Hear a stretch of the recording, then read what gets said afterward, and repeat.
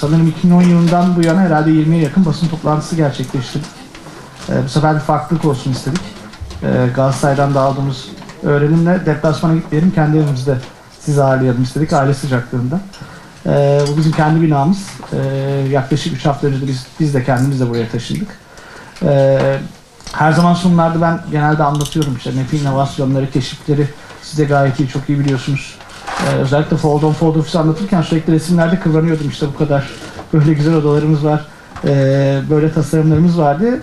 Ee, bugün onu sunuma koymadık çünkü canlısını görebileceksiniz. Bu binada e, bu kadar uzun süre boyunca anlattığımız daha önce net projelerine gitmeyen e, basın mensupları için hem bu katta hem yukarı doğru 3 katta e, Fold Office odalarımız mevcut. E, zaten bir tanesini girişte gördünüz. Toplantı.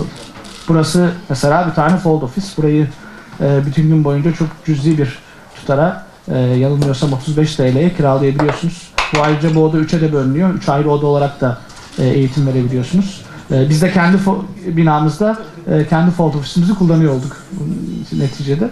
Hemen çıkışta sağda bir tane oyun odamız var. Langırt'ta masa tenisinde iddialı olanlar varsa onları da oraya bekleriz. Yukarıda sinema salonları, e, bu katta toplantı salonları, ayrıca PlayStation odamız var. E, bir tane kreşimiz var. Arka tarafta fitness'ımız var gibi onlarca oda var. E, basın toplantısından sonra gezdirmekten zevk duyuyoruz. E, yukarıda da ofisimiz var. İsterseniz ofisimize de beraber bakabiliriz. Deyip bugünün toplantısına geleyim ben. E, gündemden bahsedeceğim ilk başta. E, hem 2016'yı 2010'dan bu yana 2016'ya kadar e, NEF nereden nereye geldi? E, onlara beraber bakacağız. Satıştaki projelerimizi bir size hatırlatacağım. E, ben geçmişten ve bugünden bahsedeceğim. Sonra topu Erdem Bey'e bırakacağım gelecekten bahsetmesi için. E, diyerek başlayalım. E, bu gördüğünüz grafik NEF'in kurulduğu bugünden yana yani 2010 yılından bu yana her sene ne kadar satış cirosu elde ettiğimizin grafiği. E, 73 milyonla başladığımız 2010 yılındaki yolculuk 2015 yılının o sonlarına doğru 1 milyar TL'yi aşan bir ciroyla e, e, gel, erişmemize neden oldu. 2015 yılında 1.2 milyar TL ciroyla kapatmıştık. E, aslında baktığınız zaman her sene ortalama %62 bir büyümeden bahsediyoruz.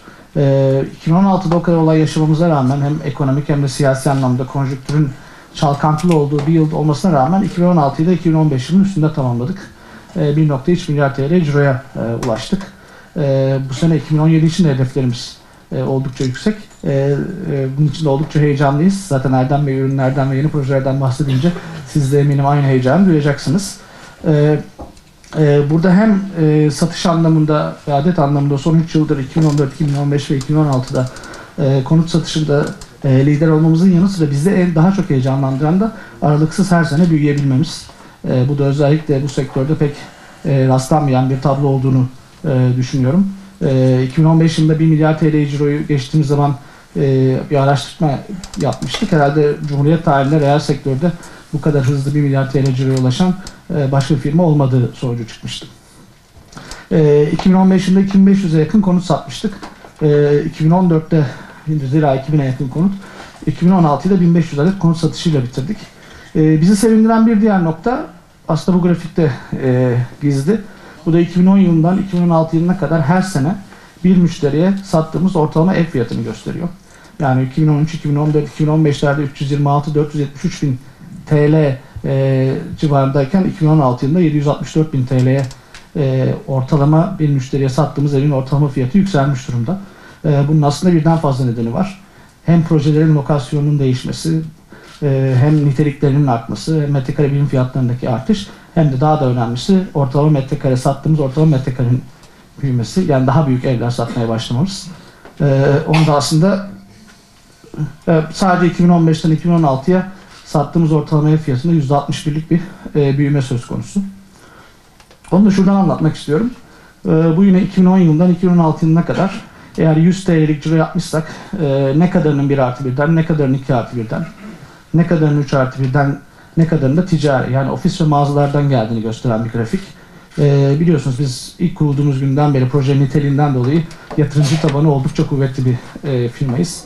Bu da zaten direkt satış hızlarına birazdan göstereceğim slayttaki veriye de yansıyor. E, ciddi anlamda hızlı satış yapan, e, yatırımcıların çok rağbet gösterdiği, e, çünkü biliyorsunuz yatırımcılar her zaman oturumculardan biraz daha hızlı hareket eder e, gayrimenkul sektöründe. O yüzden oldukça kuvvetli yatırımcı tabanı olan bir firmaydık. Ama 2014 yılına itibaren gördüğünüz gibi e, özellikle daha da dengeli bir ürün portföyüne erişmiş durumdayız. 2006'daki satışlarımızın %26'sı 1 artı 1'lerden, %25'i 4'ü 2 artı 1. Şöyle bahsedeyim. %26'sı 1 artı 1, %60'ını yakında 2 artı 1 ve daha yüksek odalı evlerden gelmekte. %16'lık da bir ticari yani ofis ve mağaza e, satışımız var. Bu da bizi oldukça e, mutlu eden bir tablo.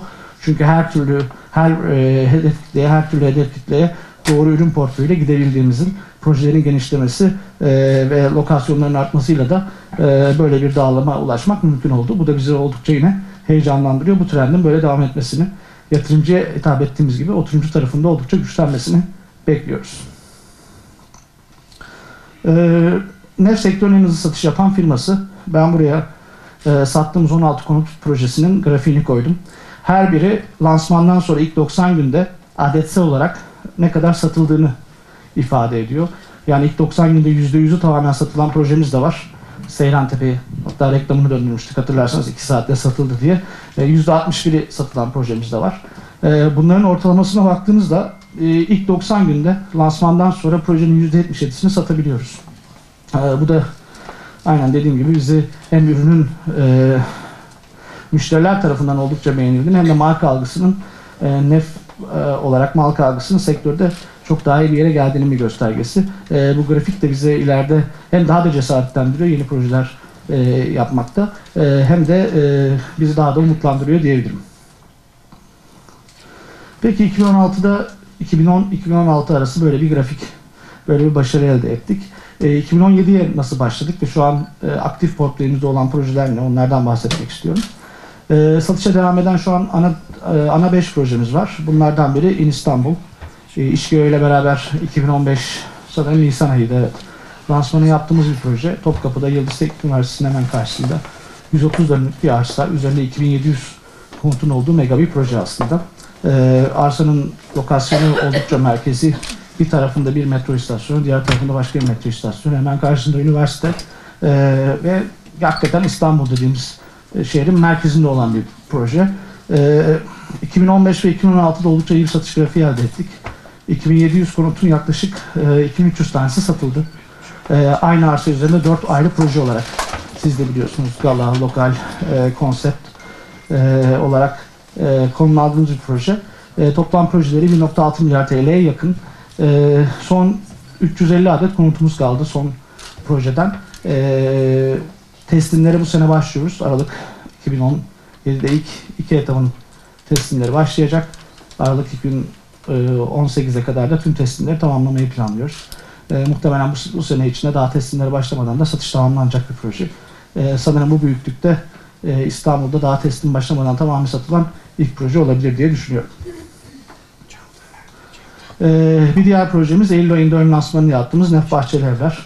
E, hepiniz aslında bunu basın toplantısını beraber yapmıştık zaten. Arsaya oldukça hakimsiniz. Ee, yine lokasyon olarak İstanbul'un merkezi diyebileceğimiz özellikle oturumcu kitlerin oldukça rağbet gösterdiği e, çevre e, bölgelerden e, oldukça sorulan aranan bir proje. E, konsept olarak da şehrin merkezin merkezinde yer alan en yeşil projesi.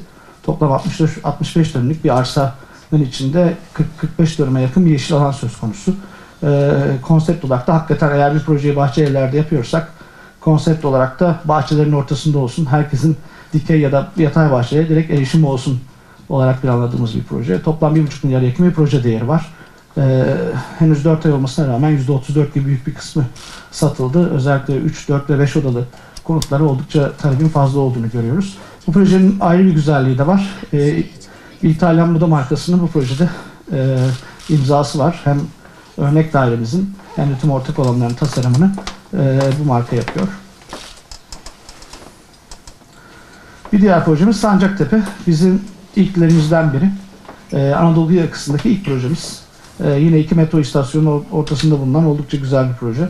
Ee, konsept olarak da iki farklı konsepti bir arada oluşturan 1 artı 1'den 3 artı 1'e 439 adet konutun olduğu bir proje. Bu gördüğünüz şehir villaları dediğimiz kısımdan bir görsel. Ee, yüksek katlı rezidanslarımız da e, mevcut. Satışıyla oldukça bizim e, sevindiren bir proje. Toplam 250 milyon yakın proje değeri var ve projede şu an satışların %73'ü tamamlanmış durumda. E, tüm 1 artı 1'ler, 1,5 artı 1'ler ve 2 artı 1'lerin büyük kısmı e, satıldı. 3 artı 1'lerde satışımız devam ediyor. 2 artı 1'lerin bir kısmında. Teslim tarihi olarak da e, Aralık 2018 olarak öngörüyoruz. E, bu Sancaktepe bizim aslında NEF'in e, proje e, lansman stratejisini oldukça güzel ortaya koyan bir proje. Hatırlarsanız Kağıthane bölgesinde henüz herhangi bir proje yokken biz Kağıthane bölgesinde ciddi yatırımlar yapmıştık. E, ve Kağıthane bölgesinde şehir merkezinde en fazla proje üreten şirketiz. E, Levent çalışma ve Kağıthane oturma ilişkisini kurabildiğimiz için aslında oldukça başarılı bir yatırım olmuştu e, Kağıthane. Sancaktepe'de de biz aynı e, dengeyi öngörüyoruz. Çünkü e, Ataşehir Finans Merkezi biliyorsunuz yakında açılacak. E, 50 bine yakın bir beyaz yakalı çalışan burada olacak. E, Sancaktepe projesinden direkt aynı metro hattı üzerinden 4 durak sonra Ataşehir e, Finans Merkezi'ne ulaşabiliyorsunuz. Aynı zamanda Sabiha Gökçen Havalimanı'na direkt metro ile ulaşım var. Bu anlamda Levent Kağıthane ilişkisinin Ataşehir, Bağdat Caddesi, Sancaktepe arasında da olmasını öngörüyorduk ve hakikaten de e, oldukça e, hızlı satışları oldukça rağbet gören hem yatırımcılar hem oturumcular tarafından olan bir proje oldu. Anadolu yakasında ilk projemiz olması da bizi aldıkça, oldukça aslında heyecanlandırdı. Sanırım Erdem Bey Anadolu yakası ile ilgili iki yeni e, haber de size birazdan zaten verecek. E, ve bugün bu sene yine aktif satışına devam ettiğimiz projelerden biri Nef Ataköy Residence. Aslında projeyi hepiniz tanıyorsunuz. Ataköy'de hemen E5'in üstünde e, e, 6 bloktan oluşan mimarisi NHOK tarafından yapılmış. 2016 yılında bu arada en iyi rezidans projesi seçilmiş bir projedir. E, toplam öndeki blok, A blok hariç 5 blokta tamamen satışlar tamamlandı. E, 1200'e yakın konut vardı. 2014 Nisan ayında lansmanı yapmıştık. E, 2014'ün en hızlı satan projesi olmuştu.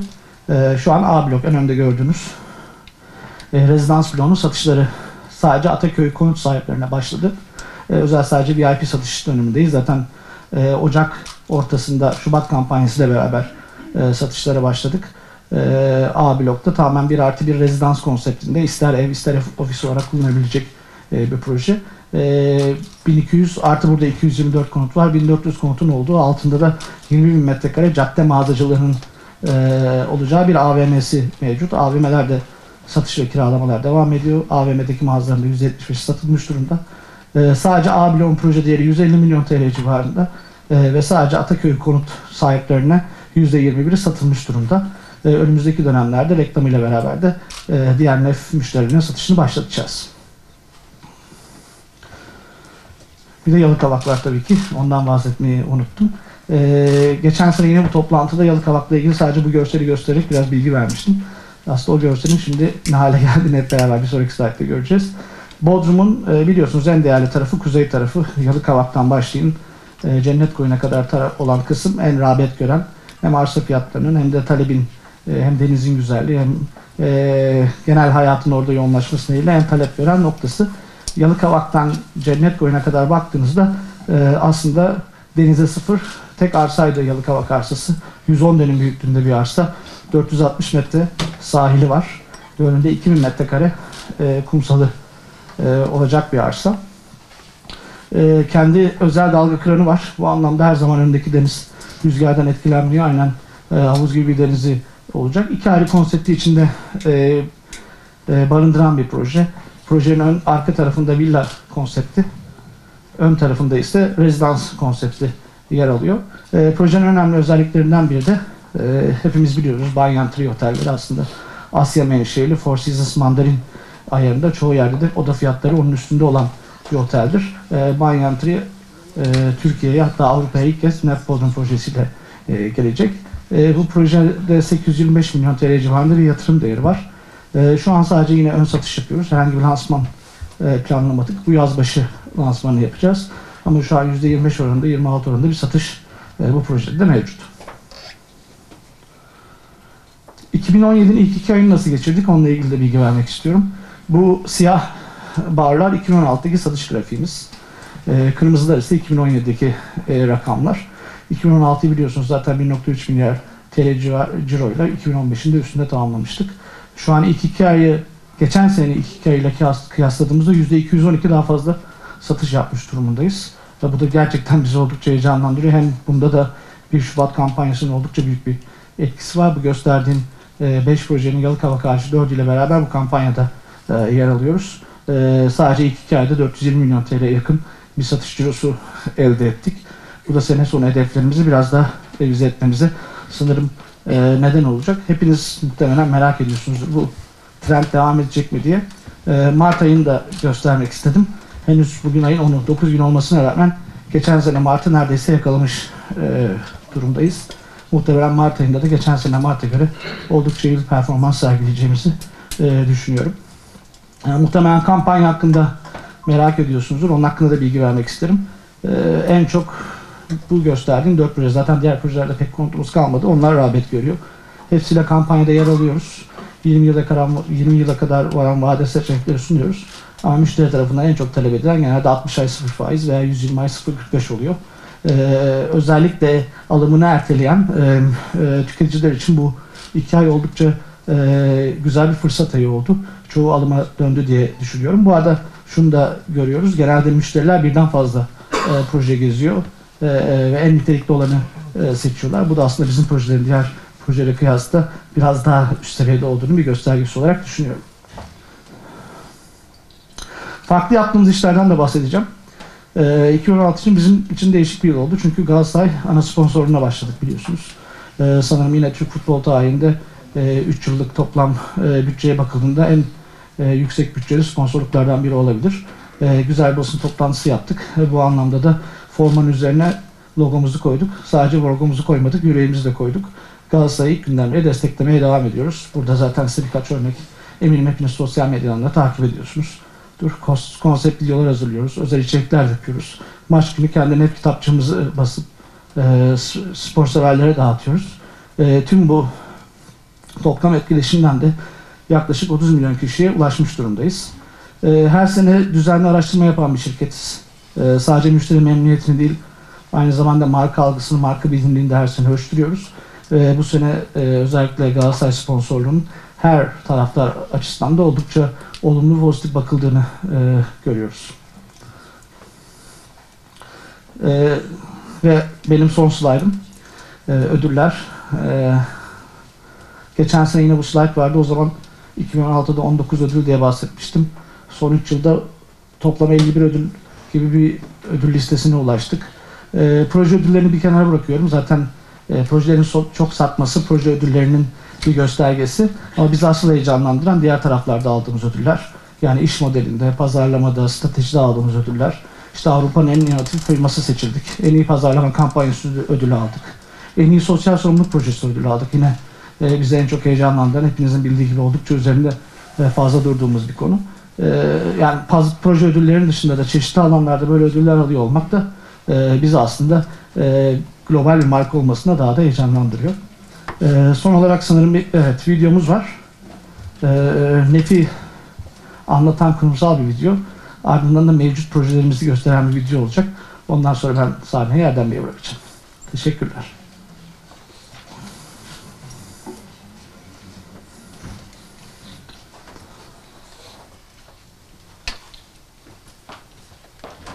NEF metrekarelerle değil, santimetrekarelerle çalışarak ince düşünülmüş yaşam alanları tasarlıyor. 2010 yılından bugüne kadar 18'inde yaşamın başladığı toplam 25 projeyi hayata geçiren NEF'in sektörde birçok başarıda ve inovasyonda imzası var. Peki NEF'i NEF yapan başka neler var? Son 3 yılda satış adedi, satış cirosu ve geliştirilen proje adedinde sektörün lideri. Projenin lansmanını takip eden ilk 90 günde %77 satış tamamlanma oranı. Türkiye'nin en büyük ilk 500 şirketi listesinde konut geliştiricileri arasında birinci. İş GYO ile ortaklık. Dünyanın en büyük 5 mimarlık ofisinin 4'ü ile aynı anda çalışan ilk ve tek Türk firması. Dünyaca ünlü endüstriyel tasarımcılar tarafından NEF projelerine özel tasarlanan kapı kodundan seramiklere kadar her türlü detay. Teslimini gerçekleştirdiğimiz 18 proje ve 3000'den fazla ünitede %95 müşteri memnuniyeti. Projelerde satış ve teslim süresi arasındaki minimum %42 prim oranı. Galatasaray Spor Kulübü ana sponsoru. Avrupa'nın en inovatif iş modeli ve NEF New York'la dünyanın en iyi projesi ödülü gibi son 3 yılda alınan 51 prestijli ödül. Ve en önemlisi gurur kaynağımız olan Nef Vakfı ile hayata geçirdiğimiz 60'tan fazla sosyal proje ve dokunduğumuz 50 binin üzerinde insan. Nef'i de nef yapan işte bunlar.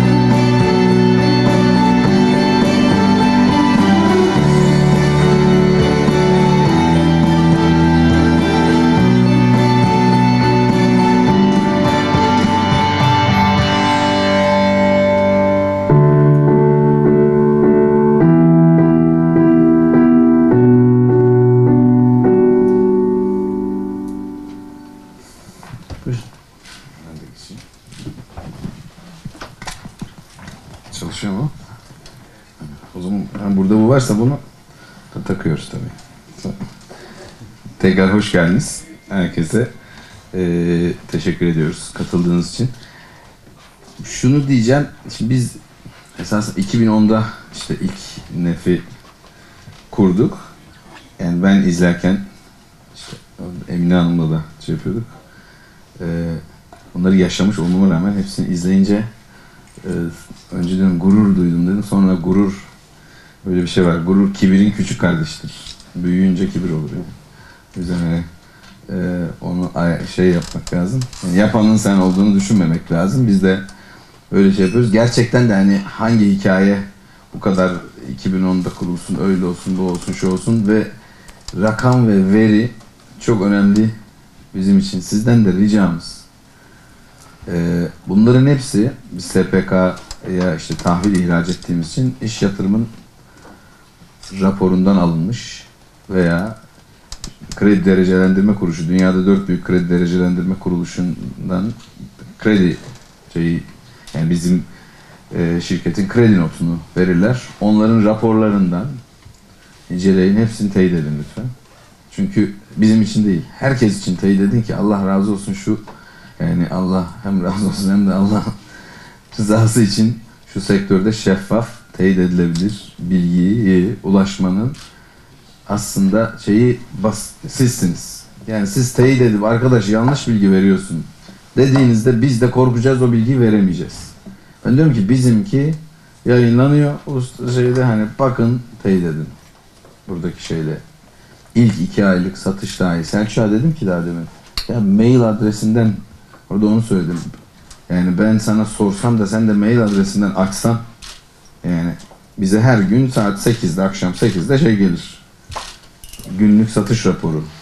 İşte Mart'ın 8'inde onun ne kadar ki satışı da şey olsa insanlar hani görse çünkü şunun için bunu talep edin diye yani ben dediğim gibi bizim raporlarda var her şeyde var alıp çek edilir. İlk Japon yani JCR'ın kredi derecelendirme notu bugün yarın açıklandığında onlarda ilk hikaye de var mesela. Yani en son şey oldu. Veya biz iş yatırım sunumuyla şimdi e, şey yapacağız. Orada da ilk hikaye 3 ay ne zaman o çıkacaksa. Bunu şunun için söylüyorum. Yani sizden ricam bunu sorun yani. insanlar çıkıp da şu kadar şeyle bir şey demesin. Yani biz mesela e, Evet ilk 90 günde de bunu EBRD'nin araştırmasıydı yani ben de ilk 90 günde yüzde kaç sattık diye bir şey düşünmedim. Adamlar e, şey testleri yapıyorlar ya yani işte mesela veriyi çapraz sağlama testi yapıyorlar. Oradan çıkan bir şeydi. Şimdi ilk 90 günde yüzde 77 satabiliyor muyuz? Yani 1 artı 1, 2 artı 1 satarsan satıyorsun da 3 artı 1, 4 artı 1 de yok öyle ama ki yani 90 günde de satmayı var yani. Bir yılda, iki yılda satsan da şey. Ee, dolayısıyla birinci şeyim o. Ee, 2010'dan sonra işte onu diyecektim yani 2010'dan sonra bu kadar bu bu bu bu, bu şey oluyor. Zaten kimse kendim yaptım diye düşünemez yani. ben onun çok önemli olduğunu düşünüyorum. Çünkü başka türlü yani insan başka bir faktör olmasa insan içinde yer alan hani neyse o kısmet de denir işte Allah'ın yardım da denir veya işte ne bileyim vakıftan dolayı işte bu işler böyle oluyor da denir bir sürü şey denir sebep olarak. Ama en son denecek şey çok iyi strateji yaparız çok iyi şöyle yaparız. Onlar muhakkak hani onlar must zaten de. Yani aynı stratejiyi yapıp iki satan var aynı stratejiyi yapıp beş satan var şimdi senin ne farkın var bu bizim için önemli olan. Önce o kısmını söyleyeyim dedim. Evet bu satış cirosu rakamı var. Ee, bu da aktif büyüklük. Dediğim gibi bunların da hepsini yani işte KPMG'nin audit raporu zaten şeylerde o audit raporlarına göre yaparlar. Ee, hepsini şey yapın diyor. Ama lütfen bizden isteyin. Herhangi bir firmalardan isteyin. Ama şu veri kısmını şeffaflaştırmamız lazım. Bu böyledir. Dayak yemeden disiplin olamıyoruz. Yani bankacılık ne zaman disiplin oldu? 2001'de bir kriz ya- yaşadık. Disiplin oldu. Dünyada da en önemli şey bence hani e, basının disiplin etmesidir.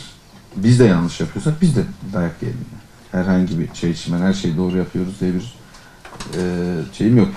Bu aktif büyüklük de şirketin varlık yani büyüklüğü. Yani işte e, bu noktalardan diyeyim. Buradan görünmüyor ama işte şimdi 2016'da bu konsolidedir. Yani konsolide olarak e, 4.2 milyar aktif büyüklüğe gelmiş. Yeni projelerimiz önce Novo'dan başlıyoruz. Novo bizim yeni bir heyecanımız biliyorsunuz. E, Novo'yu ilk olarak işte Zeytinburnu'nda açtık ve mesela bizim oradaki fizibilitemiz %65'ti doluluk oranı. İşte %95'lere geldik bildiğim kadarıyla. Ee, birinci yılda yani sıfırdan orada muazzam bir ekip var. Bülent de buradaymış gördüm. Arkamızda. Zaten Novo'yu ilk tanıtırken vardı. Ee, Bülent Koz'da. İşte ee, ilk defa bir işte biz çünkü ürünlerimizi sat, portföyümüzde ürünler tutmak istiyoruz. O yüzden de yani hepsini satmak istemiyoruz. İşte bu bina gibi başka şeyler ve bu kira geliri yaratan. Çünkü bizim stratejimiz şu. E, opportunistik işler, yapsatçılık opportunistik bir iştir yani. E, parayı koyarsın, satarsın, kazanırsın, kazananım verebilirsin. Kira gelirisi falan daha dayanıklı şey işlerdir. Bizim de gayemiz biz vakıf şirketi olmak işte zaten öyle olduğumuz için ve hani vak- vakıf mantığında vakfiyedir ya bizim kültürümüzde ya bir yerde dursun kira akarı olan gelir. Biz de bunu çünkü bu sermayeyi yükseltmeniz lazım ki o akarı olan şeyleri daha fazla tutabilirsiniz. Biz de sonuçta bunu o yüzden istiyoruz. Yani yurtlarımız olacak. Yarın öğrenciler dışında gençler için de yine binaları kendimize tutup kira şey yapacağız ve kira geliri sıfırdan %95'e giden biz bir sürü örnek araştırdık. Bir tane bile yurt yok. Ve öyle bir düşünün ben biz markayı 6 ay önce çıkmışız.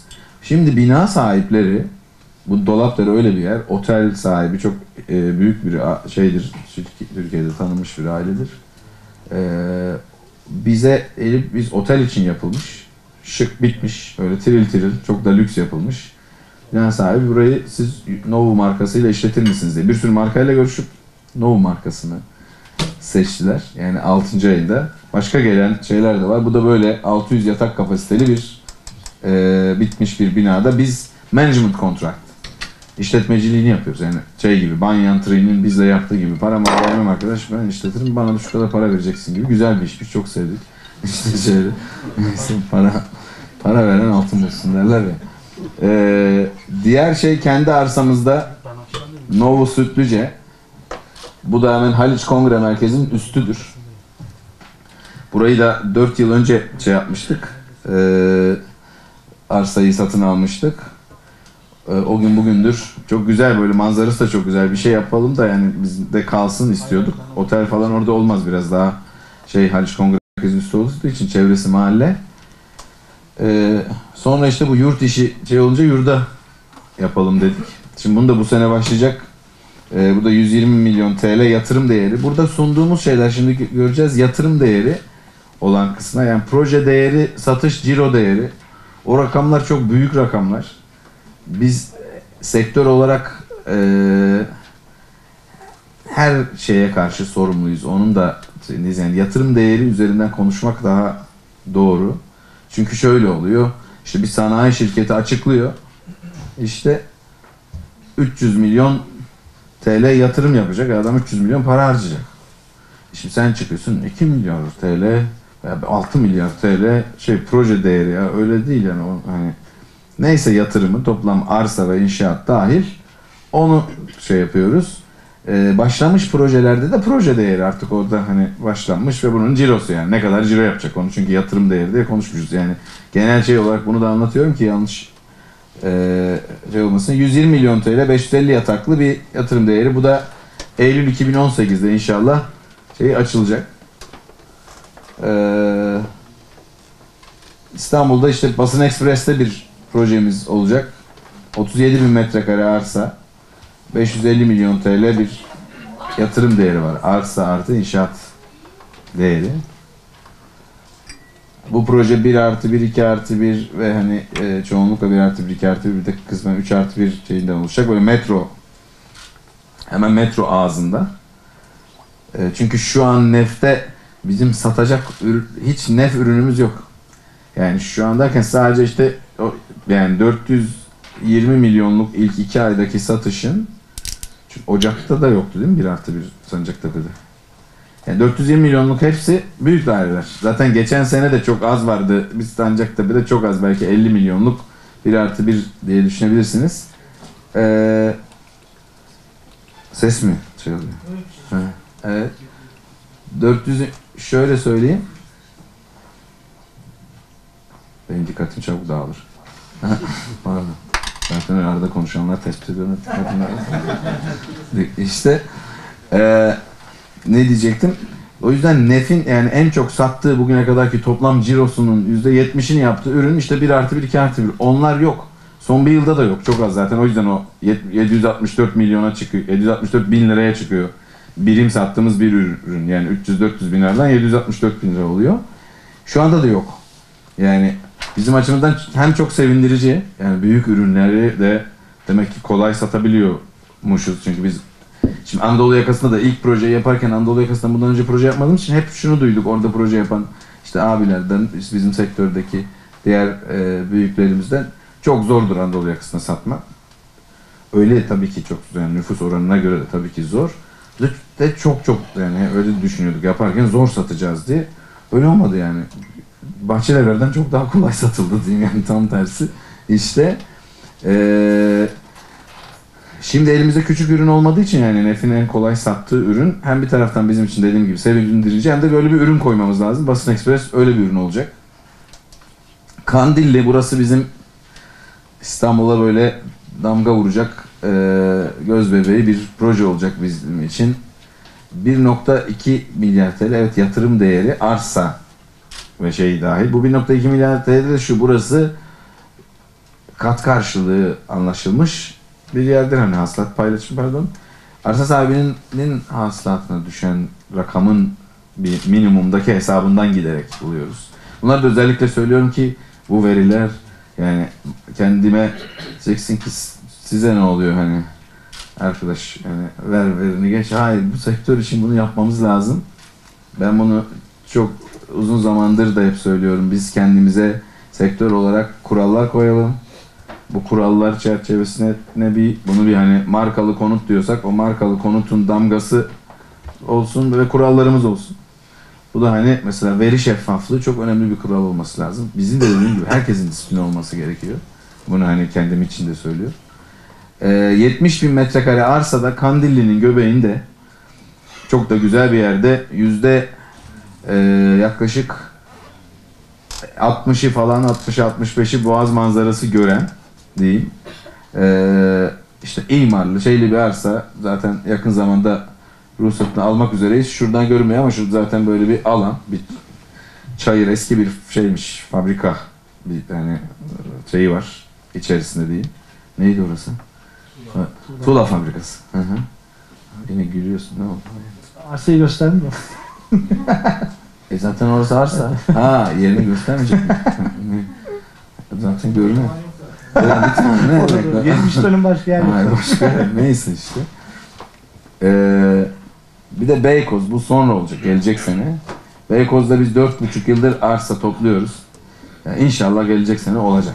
Yani normalde geçen senenin sonunda şey çünkü imarlı yani yer ama işte bir 18 uygulaması 18 uygulaması devam ediyor. Uzunca bir zamandır. Ee, bizim ya şu an için işte 280 bin metrekare ama 18 uygulaması yapılınca tabi o uygulama alanı içerisinde birlikte kal şey olan yani sizin adanızın içerisindeki başka anlaşmadığınız yerlerle de anlaşmak durumundasınız. O yüzden bu metrekare daha artacaktır.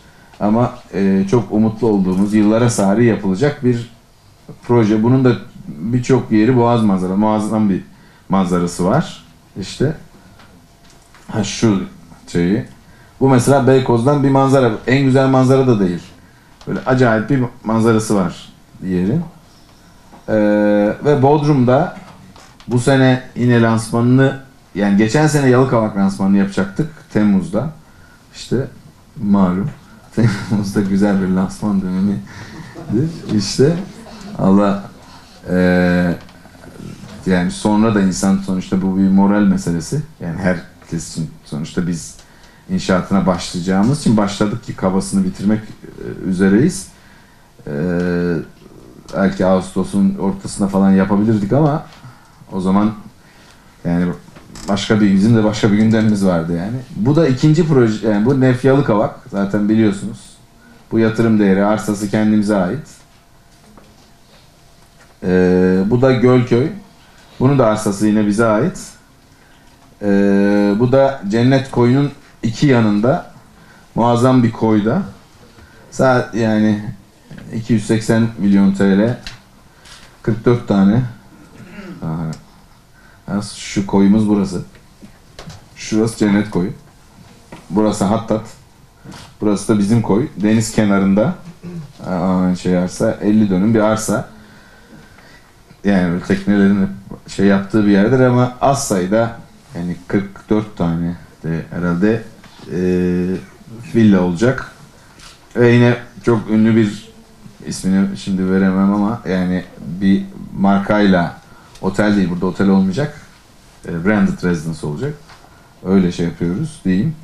E, bu yani toplam herhalde işte bu projelerle yani bu seneki gayemiz şuydu aslında biz diğer projelerin yani bir kere herkesin de daha demin de konuşurken yani ilk iki ay Ocak Şubat en zor aydır yani en bizim sezon olarak en kötü zamandır.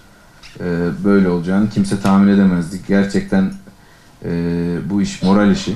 Hakikaten de insanlar çünkü ihtiyacı var, şey var ve o moral belli bir düzeyde olunca bu iş alışverişe dönüşüyor. Ee, bizim de o morali desteklememiz gerekiyor. Hep hep birlikte herkesin yani sonuçta bizim yani memleket e, her, herkesin. O yüzden o anlamda da e, olumlu motivasyon yani kim neye kızarsak kızalım, neyi beğenmezsek beğenmeyelim ama e, bir olumlu destek e, her zaman önemli. Bu ekonomi için değil. Her türlü ruh hali için. Bu sadece memleket için de değil. İnsan ailesinin içinde de, evinde de. Yani her şeyi olumluya götürmemiz lazım.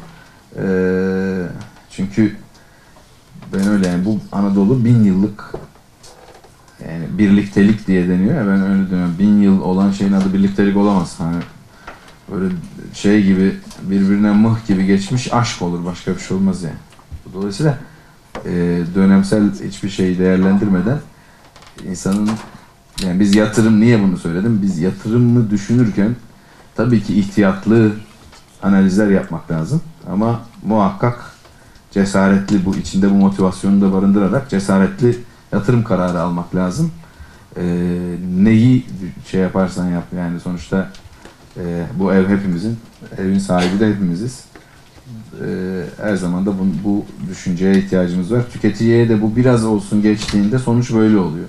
Yani e, çünkü bundan iki ay önce e, işte ya şu şu vakitte ev mi alınır deniliyordu. Şimdi ev almanın tam zamanına dönüştü iş yani.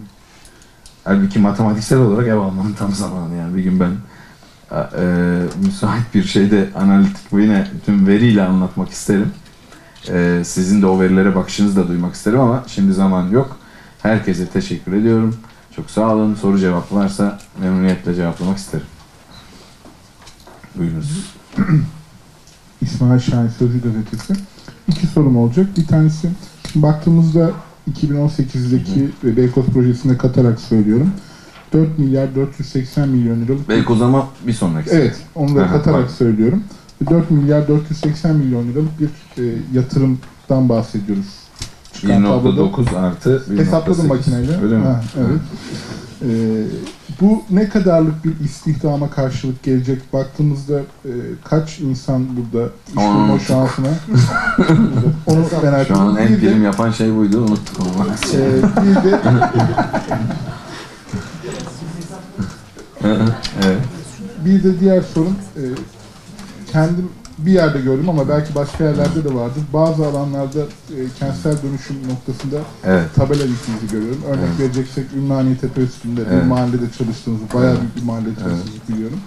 E, yani önden bir bilgi vermek amacıyla Evet. biz bu gibi hani yık yap e, tadında daha geniş alanlarda mı göreceğiz nefi bundan sonra? Teşekkür ederim. Çok sağ olun. Ee, bu ya, şöyle yine bu yatırımı yaparken de bu yılda değil bunlar 2-3 yılda harcanan paralar. Yani bunu da özellikle şey yapıyorum ki sonuçta biz her türlü sanayi kesimi de şu da bu da yani e, elma elma diye şey yapmalıyız ki yani e, öyle yani neyse yani o disiplin çok önemli. Şimdi herkes diyecek buna takmış diye. Yok, Takmadım sadece. Böyle böyle böyle böyle geçeceğiz bu işleri. Ee, ikincisi sorunuza bizim en önemli e, konumuz her zaman şehir merkezleri olacak. Kentsel dönüşümde de yani şehir merkezlerinde yaptığımız işlerin de çoğunluğu tabii kentsel dönüşüm. Bugüne kadar kentsel dönüşümde e, 4000'i geçmiştir herhalde Ra- rakam yani 4000'i evet, kesin geçmiş. 4000'in üzerinde insanla imza atmışız. En az yani sanayi dönüşümünü koyarsak yaptığımız projelerden tamamı bazı Bodrum hariç hepsi dönüşüm sanayi ve şey. Ama Türkiye'de en fazla bireysel vatandaş hak sahibiyle imza atmış şirketiz. Açık bir arayla. Yani biz olarak. Yani işte başka bir nasıl diyeyim şirketle anlaşıp da veya em- emlak konut TOKİ bu işleri yapıyorum bilmiyorum ama hani o kısımda ilgili bilgim yok ama şey bu. İkincisi de en fazla böyle anlaşma yapıp proje tamamlamış. Biz bu çünkü iş anlaşma kısmı değil. O insanlarla kat irtifakı kurmak, teslim etmek falan filan biz bu işin şey başladığımızda 6306 sayılı kanun yoktu. Şimdiye kadar anlaşıp projesine başladığımız tüm şeylerde %100 anlaşma yaptık. Yani %100'üyle anlaşma yaptık. Alt- Yani herhangi bir 6306 ile yani başvurarak değil ki başvurulması da normal. Yanlış anlaşılmasın. Ee, ve şu ana kadar o kapsamda teslim ettiğimiz 6 tane şey var. A, yani e, proje var. Veya bir ay içerisinde de teslim edeceğimizle birlikte 6 tane. Yani anlaşmışız bir sürü insanla bu 3000 insan değil. 3000 yani ilk anlaştığımız insan sayısıydı. Şimdi 4000'i aşmıştır. Onlar devam eden projelerde de anlaştığımız ama bu 6 projede en az 1500 kişi falandır diyeyim. Dolayısıyla e, bu kişilere de teslimler yapılıyor. Bizim ayrı ayrı bölgelerde yani Üsküdar'da var. Ümraniye'de var. 5 ayrı yerdeydi zannediyorsam.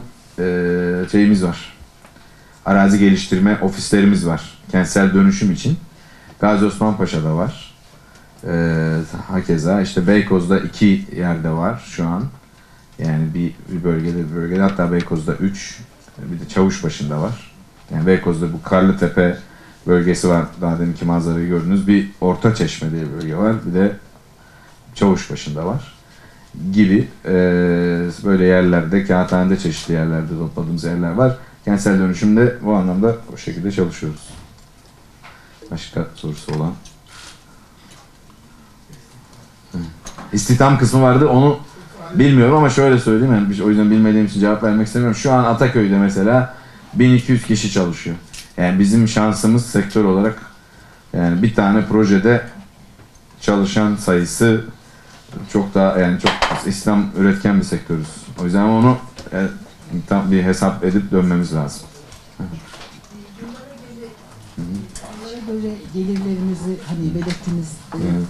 tabloda rakamlar e, kesilen faturalar üzerinden mi yoksa o yıl yapılan sözleşme, noter sözleşmeleri midir? Noter sözleşmeleri üzerinden. Fatura yani Noter sözleşmeleri üzerinden, faturalar üzerinden olan şey teslimde fatura kesebildiğimiz için o teslim yılıyla. Yani bizimse yine öyle mesela IFRS ile yani uluslararası finansal raporlama sistemiyle diyelim ki takip edildiğinde fatura kesmeye bakılıyor. Normal bizimki diğer sektörlerde olduğu gibi. Ee, halbuki bizim sektörü IS 4400 diye bir şey var. Onu da biz de 6 ay önce şey yaptık. Bir raporlama sistemi. Biz de tabii normalde her yerde IFRS geçer. O yüzden IFRS yapıyorsunuz. Ama sektörü daha iyi tanımak için bir de o rapordan da yaptırıyoruz. O da yine KPMG yapıyor. Uluslararası firmalar yapıyor. O da IS 4400 diye yine bir standart bir rapor.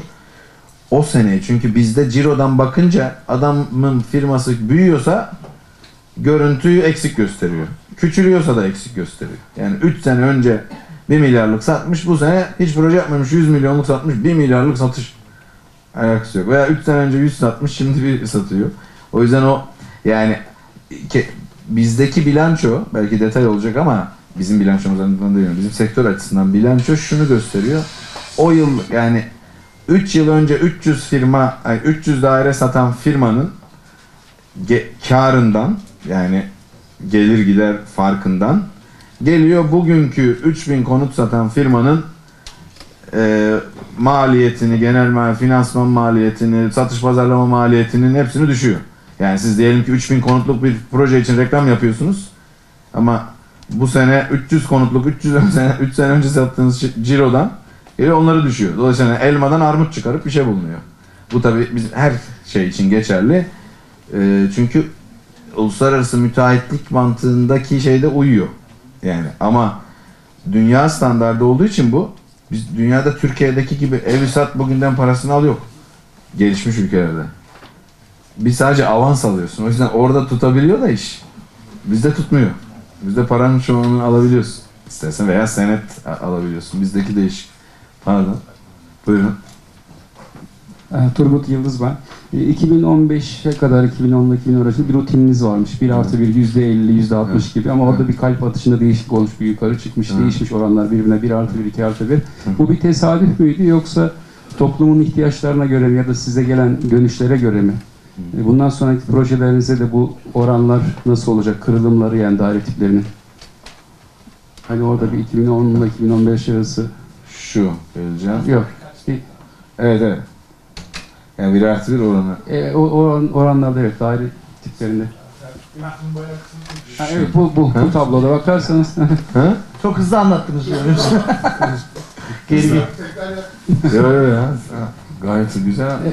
Ha, buradaki Şunu tabloyla diyorsunuz. Evet burayı Ama değerlendir- neyi kolay satıyorsak onu önce. Şimdi bu bir strateji şeyiydi. Evet evet. Evet yani İşte sürdürülebilirlik başka bir şey. Şimdi ilk başta firmalar büyü- yani kurulurken ve büyürken aslında hani normal bir firma hala basardı 1 artı 1'e çünkü 1 artı 1 biz ne 2000 3000 1 artı 1 satıyoruz. Türk toplumun 1 artı 1 ihtiyacı çok daha fazla. Dolayısıyla bir şey yapmaz ama sürdürülebilirlik yani farklı hem yatırımcıya hem oturumcuya hem farklı bölgelere hitap ederek yani sonuçta bu iş 50 yıl sonranın kalıcı marka olma hikayesi. Dolayısıyla siz sadece bir yatırım yapan ve bir bölgeye yatırım yapan bir kesmin markası değil de farklı farklı yerlere şey yaptığınızda bunu böyle diversify etmeniz lazım. Her türlü her türlü şey düşünmeniz lazım. Stratejik riskler, ekonomik riskler, siyasal riskler bunların hepsi önemli. Yani bir artı biri işte istenmeyebilir. Kimse bilemez 20 yıl sonra, 10 yıl sonra ne olacağını. Dolayısıyla her konuda bir ürün geliştirmek lazım. Bunu biz bizim gurur tablomuz olduğu için şey yapıyoruz. Tabii ki bir artı bir, iki artı bir satmak daha kolay. Diğerlerini satmak şeyde daha zor ama o şekilde olgun bir e, marka dinamiği yaratmaya çalışıyoruz. teşekkürler. Sağ olun. Arkada var. Reuters Ceyda Çağlayan. E, 2017-2018 için e, 4,5 milyar liralık bir yatırım projeksiyonu yaptınız.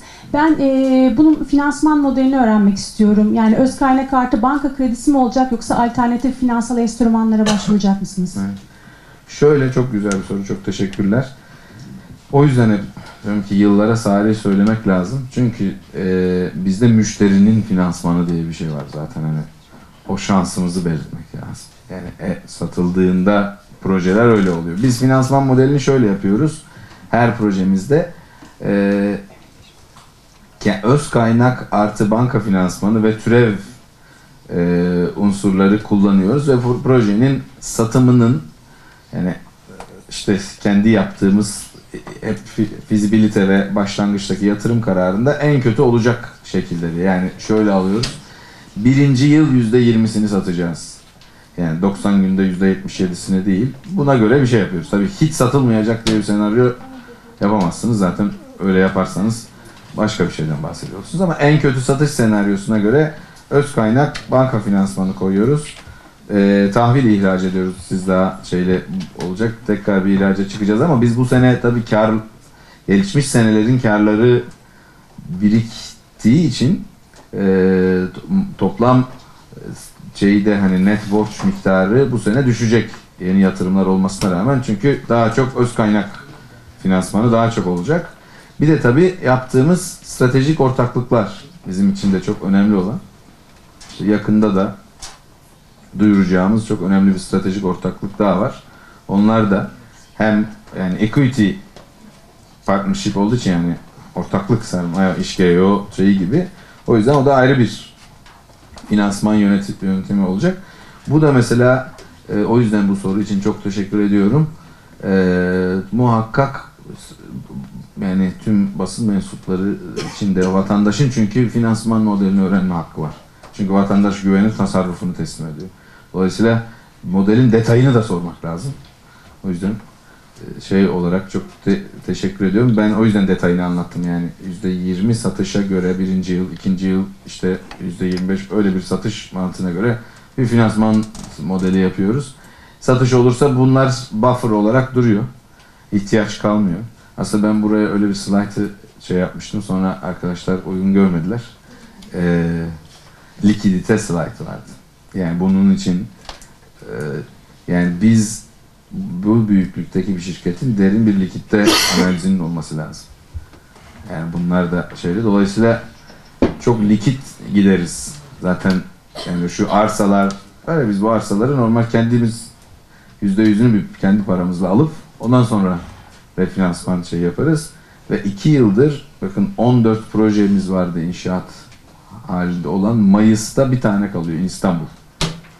Yani iki yıldır bu kadar teslim edilmesine rağmen bizim bir minimum şeyle böyle 300 milyonla 400 milyon arasında bir likitte seviyemiz var yani. Şirkette minimum 400 milyon cash olacak diye. Yani ki şu an senet çok olduğu için her bir sürü senet zenginliği. Benim dediğim tamamen cash şeyden. Dolayısıyla 14 proje teslim ederken o seviyeyi tuttuk. Sebebi hanımefendinin sorduğu soru yani. Doğru finansman modeli. Çünkü eee, bu senelerde finansman sağlamak da zor, satmak da zor. Çünkü evet 400 milyon satış var. Ben şey diyorum, para nerede? Herkes az paralar veriyor. Hep senet veriyor yani oradaki şey. O yüzden eee, en önemli konu finansman modeli. Buyurunuz. E, Finansman modeli e, demişken sormak istiyorum. Bu gayrimenkul sertifikası yeni bir finansman modeli olarak start aldı. Evet. E, sertifikalı konu satmayı düşünüyor musunuz? Sizin böyle bir planınız var mı? E, diğer sorum da yabancıya satışlarınız ne seviyede? Birçok teşvik geldi. Evet. E, sizin satışlarınızın ne kadarını oluşturuyor ya da ne ediyorum. Sondan başlayayım. Yabancıya satma konusunda biz e, o konuda çok ehil bir şey değiliz. Çok geliştirmeyi düşünüyoruz kendimizi. İşte bizim herhalde yüzde bir, iki mi? İşte yüzde iki seviyesinde yabancıya satışımız. Onun iki sebebi var. Bir, yer, çok hızlı yerliye satınca yani sonuçta yabancı o projenin lansmanından falan haberdar olmuyor. Öyle bir yabancı şey olmuyor. Ama muhakkak o da daha yani diversify etmemiz lazım. Ee, diğer konuda gayrimenkul sertifikası geliştirmeyi mutlaka düşünüyoruz. Bizim için çok önemli bir ürün. Onu söyleyeyim. Türkiye için de önemli bir ürün olduğunu düşünüyorum. Ee, görüşüyoruz ee, bu konudaki yatırım yani bankaların, banka işletmelerinin yatırım şeyleri var. Sonuçta bunu bir e, halka arz olduğu için bir e, aracı firmayla yapmanız gerekiyor. E, önümüzdeki dönemlerde bu yıl mı olur bilmiyorum ama yani önümüzdeki yıl da olabilir. E, böyle bir şey yapıyoruz. Türkiye için doğru model muhakkak eksiklikleri var şimdi. E, içeride de konuşuyorduk. Onların da e, her zaman yani biz de aynı şeyleri yapıyoruz. Bir ürün ortaya koyuyoruz. Eksiklikleri de oluyor şey olarak gideriyoruz ama Türk insanının yani bu borsaya yatırım yapmak yani şirketlerin halka açılması ve o insanların halkın da o, o şirketlere ortak olması ülkelerin sürdürülebilirliği açısından çok önemlidir. Yani çünkü halk ortak olursa şirket için bizim halkımız borsa sevmiyor. Haklı. Ben de ben de hiç anlamam. Yani çünkü borsa oynamak diye bir laf var ya biz öyle düşünüyoruz. Borsa bir oyun yani şey gibi. O yüzden e, işte bu kadar ekonomiyle ilgiliyim. Hiçbir anlamam. Yani halbuki ilgili olman lazım hani öyle şeyle. Şimdi Amerika'da şöyle bir şey vardır. Vatandaşın tabana yayılmıştır. Halka açık olan şirketler çoktur. Vatandaş da ortaktır. Sen ekonomide yanlış bir şey yaptığında adam o gün zarar eder. O zaman doğru yönetmek. Nasıl ki ben öyle diyorum. Doğalgaz fiyatı artamıyor, elektrik fiyatı artamıyor çünkü vatandaş oy vermez. Siyasetçi her zaman o disiplinde olması lazım. Şimdi halka tabana yaydığınızda bu işi o yüzden siyasetçi ekonomiyi doğru modelle yönetiyor. Çünkü ekonominin zarar görmesinin Ayşe teyzeye yansıması e baba 6-7 ay, 8 ay, 1 yıl. Bir de arada iyi şeyler olursa yansımıyor sen yanlış da yönetsen.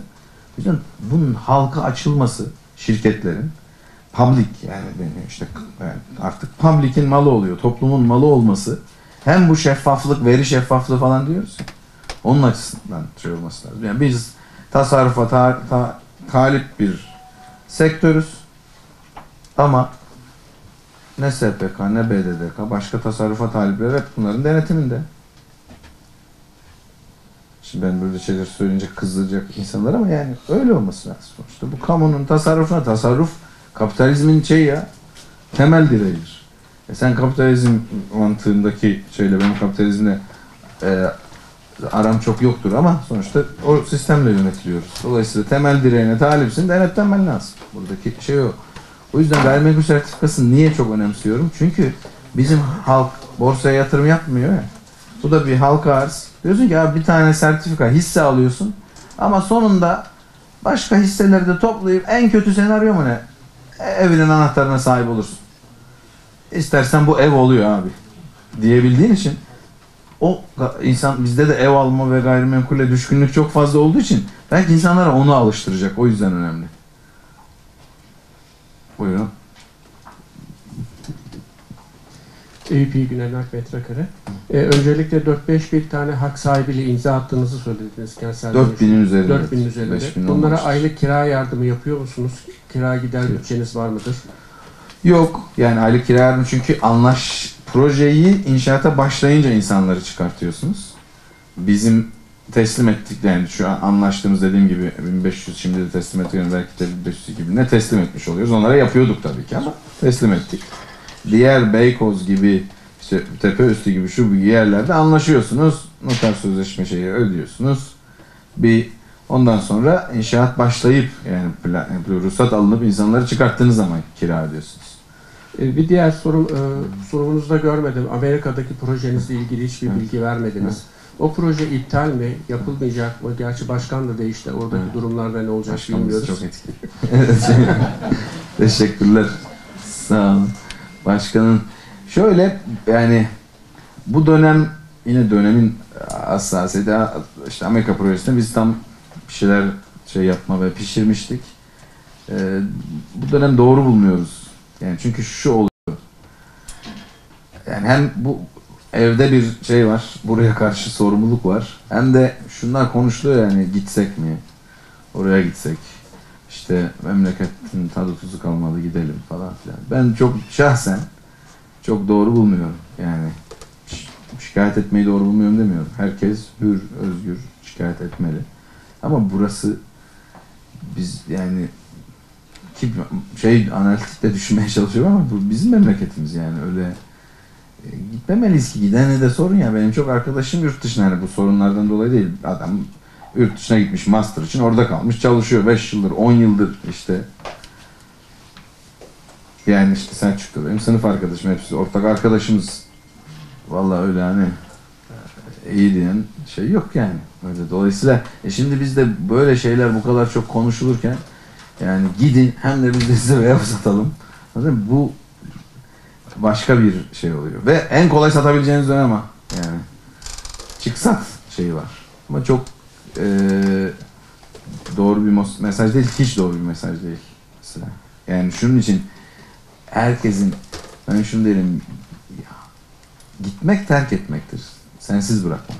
Yani gitmenin an- duygusal anlamına da bakmak lazım.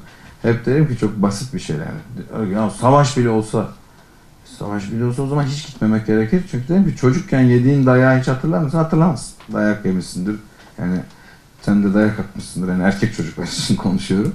Ama korkup da cevap veremediğin yani tırnak içerisinde tırstığın şeyi hatırlarsın arkadaş. Kaçmak o demek. Dolayısıyla sen çocukken ufacık bir kavgada tırstığını hatırlıyorsan ülkeni yalnız bırakıp gittiğini ömür boyu orada rahat edebilir misin ya? Beynini yersin. Öyle bir şey yok. Ondan da yani biz ona eş değer bir şey de yapmak istemiyoruz. Yani eee, inşallah bu psikoloji ve bu şey geçici zaten. Geçtiğinde eee, biz de o yolculuğa devam edeceğiz. Bugün şeffaflık üzerinde çok durdunuz. E, Konut sektörü sizce yeterli derecede şeffaf değil mi?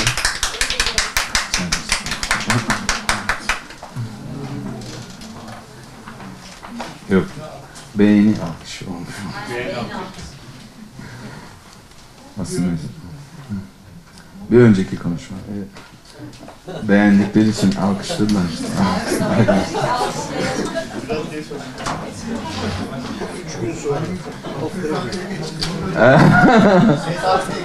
tamam pardon. E, siz bir şey sordunuz çok pardon. E, Bugün şeffaflık üzerinde Evet. çok durdunuz konut sektörüyle ilgili. Konut sektörü sizce çok şeffaf değil mi? E, Veya bu eleştirilerinizi şeffaf olması gerektiğini söylediğiniz e, bir nedenler var mı gördüğünüz? Valla so- sorgulanmayan her türlü düzen, bu sadece konut sektörüne özel değil, tabii ki çok şeffaf değildir yani. yani istediği bilgiyi paylaşmak, istediğim yani eşinizle sizin aranızda bir, hepinizin arasında bir şey var, akit var. Bu akit dürüst olmayı gerektiren akit. Yani birbirinin işte o duygusal akitte insanın sorgulama yükümlülüğü yoktur. Ama onun dışında duygusal olma veya anne baba çocuk ilişkisi böyledir. İşte ki anne baba çocukta bile yani anneler işte çocukları büyüyünce sürekli ararlar ne yaptın neredesin falan hani sorgulama olur. Ya bu da bu, bu hiç duygusal olmayan tamamen şey bir ilişki sorgulanması lazım. O yüzden bizim sektör için değil sadece her sektör için. Bunun da sorgu şeyi vatandaş adına basın yani. Basının çok değerli bir görevi var. Zorluklarınızı tabii ki biliyoruz. Yani burada hiçbir şey yok. Ama sormak lazım. Yani şunun için sorun bak biz yanlış yapmıyoruz demiyorum ama biz de yapabiliriz. Yani yanlış da normal bir şey zaten. Oradaki olan şey. Ama sorgulandıkça insanlar daha düzgün şey yapabilir. Şeffaflık sorusuna cevap vereyim. Tabii ki sorgulanmıyorsa bu sektörde, başka sektörlerde şeffaflığın da geliştirmesi gerekir. Yani hiç şeffaf değil demiyorum. Ama geliştirilmesi gereken çok kısım var. Bir arkadan şey yapayım. Erdem Bey, ben şunu merak ediyorum.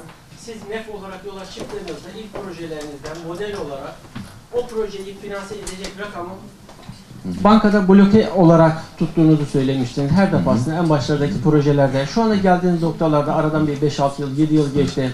E, finansman modellerinizi muhakkak güncelliyorsunuzdur. Bu en baştaki model, şu andaki finansman modelinizin neresinde, yüzde kaçını oluşturuyor, ne durumda? Yani o kadar da sormayın tabii canım. Finans, şöyle söyleyeyim. Öz kaynak dediğimiz kısmı önceden yani tabii 300 daire yapıyorduk şimdi. O kadar da 3000 daire yapıyoruz. O kadar da paramız yok. İşte öz kaynak kısmı o kısım. Artı banka finansmanı da o. Banka finansmanı da Türkiye'de şahsi kefaretle veriliyor.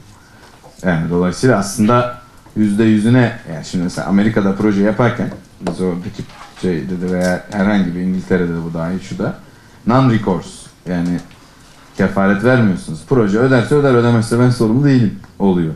Aslında Türkiye'de varlığınız artıyorsa sonuçta bizim şirketin bir değeri var, hisse değeri var, şu var, bu var, başka var şey var. Ben de kefaret imzası atıyorum. Aslında yüzde yüzünün parasını koymuş oluyorsunuz baştan orayla ilgili bir eee, şey sözleşmesi finansman sözleşmesi imzalıyorsanız ama yok satılır nasıl olsa şu kadarını koysak yeter o bu iş bu iş çevirir diyorsanız o zaman finanse etmemiş oluyorsunuz.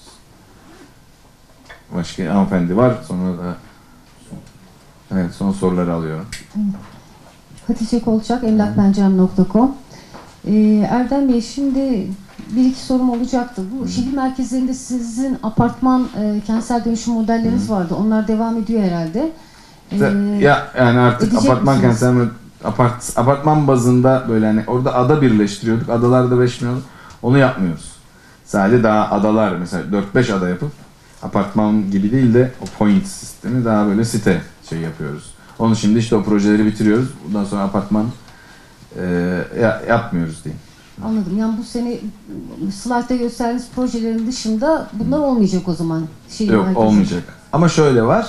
Yani birkaç apartmanlı şehir merkezinde görüş böyle belli bir imza sayısına geldiğimiz yerler olduğu için işte 3-4 apartman onlar bittiği zaman onlar olabilecek tabii. Onların ne zaman biteceğini, bitmeyeceğini bilemediğimiz için imzaya bağlı. O yüzden koymuyoruz ama dediğim gibi biz şehir merkezinde tek apartmanlı veya böyle hani o tek, apartmanda biz büyük apartman oluyor tabii 200 daire falan oluyordu ama öyle yapmayacağız. Daha büyük şeyler yapacağız. Evet. Bir de dediniz ki bu sene hani sürpriz olacak açıklayacağım e, yeni bir ortaklığımız olacak dediniz. Daha sonra açıklayacaksınız. Ben de e, iş ile devam edecek misiniz? Yeni projeler yapacak mısınız? Orada durumunuz nedir? Onu sormak istiyorum. E, bu yılki konut satışlarınıza baktığımız zaman Ocak, Şubat geçen seneye göre yüzde 212 gibi bir artış göstermiş. Şubat ayında evet e, iyi bir kampanya vardı. Ondan etkilendiniz belki. Ama Ocak ayı da e, ciddi anlamda bir satış yapılmış. Genel olarak baktığımızda bu yılın sonuna kadar ki konjonktürde ne kadarlık bir satış yapmayı düşünüyorsunuz? Yani bizim yani şeyimiz diyeyim bu yılki bütçemiz işte bir buçuk milyardı yani iyi seviyede olursa işte bu tabii bunlar şey e, ekonomik konjonktür olarak çalkantılı şeyler olduğu için uluslararası e, konjonktürde de aynı şekilde. O yüzden bakıyorduk yani revize 900 milyon da yapabiliriz bir buçuk da yapabiliriz bu şeyle. Ama hedefimiz şey bir buçuktu. Böyle giderse tabii onun üstüne geçiyor ama e, önümüzdeki günleri ne getirir onu bilmiyorum. Ama biz hani sonuçta kendi bütçe disiplinimizi 900 milyon satış yapsak da ne olur göre kurduk. Hedefimiz de 1,5 milyon. Buyurunuz. E, ilave iki sorum olacak. Bir tanesi konuşmanızda vakfetmekten bahsettiniz. Sonrasında ise bu sermayenin tabana yayılmasına değindiniz. Önümüzdeki dönemde bu bir yandan gayrimenkul biriktirdiğiniz için söylüyorum. Yani kiralama yöntemiyle. E, bir borsada yer almayı mı düşünürsünüz yoksa bu vakıf konseptine devam mı edersiniz? Bunu merak ediyorum. Bir de Eylül ayındaki toplantıda e, diğer Anadolu şehirlerinde Hı hı. işte yurt veya benzeri projelerle ilgilendiğinizi söylemiştiniz. Buna yönelik e, temasınız oldu mu? Olduysa nasıl sonuçlandı? Teşekkür ederim. Sağ olun. Ee, en son bitirirken vakıfla bitirecektim. O yüzden sorunu sonra cevap vereyim. Şeyle. Ee, ama oradaki olay business stratejimiz bizim inşallah e, ileride double listed yani İstanbul, Londra olabilir, Frankfurt olabilir diyeyim belki de işte New York olabilir. İki şeyde İMKB ve orada ileride halka açılma şeyimiz var. Ee, buradaki olay zaten işte Nef Vakfı şirketin biz dolayısıyla yani biz ben sonuçta eee, işte eşim de sağ olsun sonuçta bu insanın kişisel kararı olamaz. Biz sonuçta varlığımızı vakfa şey yapıyoruz. Yani halka açıldığında parayı kim alacak? Şirket hissedarı olan Erden Timur alacak. Yani şirkete de koyulacak. Belki de veya sermaye olarak koyacağız. Ee, ama bizim sonuçta varlığımız NEF Vakfı'na şey oluyor. NEF'in de e, şirket olarak da üstü o. Halka açılırkenki kısımdaki bir çözmemiz gereken konu o. Çünkü biz şu an kar dağıtılabilir karı veriyoruz vakfa. Vakıf sosyal projeler yapıyor. Bugüne kadar e, yüzde 95'i falandır arkadaşlar. Yani dağıtılabilir karımızın hepsini yani kar şirket dışına çıkmamıştır. Hep işte böyle vakfa şeye ee, ama tabii halka açtığınızda bunu yapamazsınız. Yani adam ben sana ortağım ver benim paramı der normal olarak. Onun yani o tabana yayılma noktası doğru. Bizim amacımız vakfa sürekli gelir olarak sürdürülebilir bir şirket. Bir şirketin ne kadar çok ortağı varsa, ne kadar kamuya mal olmuşsa o kadar sürdürülebilirdir. Yani dünyadaki içinde Amerika'daki en büyük şirketlere bakın. Bir start teknolojiler var orada sahiplikler daha şey az. Ama 50 yıl 60 yılı geçen şeylerde en büyük hissedarın %30 var 35 var geri kalan yayılmış. Biz öyle bir şey istiyoruz. Ee, bir soru daha sormuştun. Ha, oralarda görüşmeler yapıyoruz. Ama hani e, işte olumlu olabilecek şeyler daha henüz yani biz de aslında bu sene işte böyle bu şey olduğu için daha nasıl diyeyim emin olduğumuz kendi kendimize gelir ürettiğini bildiğimiz zaten hani yaptığımız yapa geldiğimiz işleri devam ettirmek olduğu için daha az görüşüyoruz. Ama muhakkak Anadolu'ya şey yapmak istiyoruz. Gitmek istiyoruz diyeyim ve bitireyim izninizle. Katıldığınız için çok çok teşekkür ediyoruz.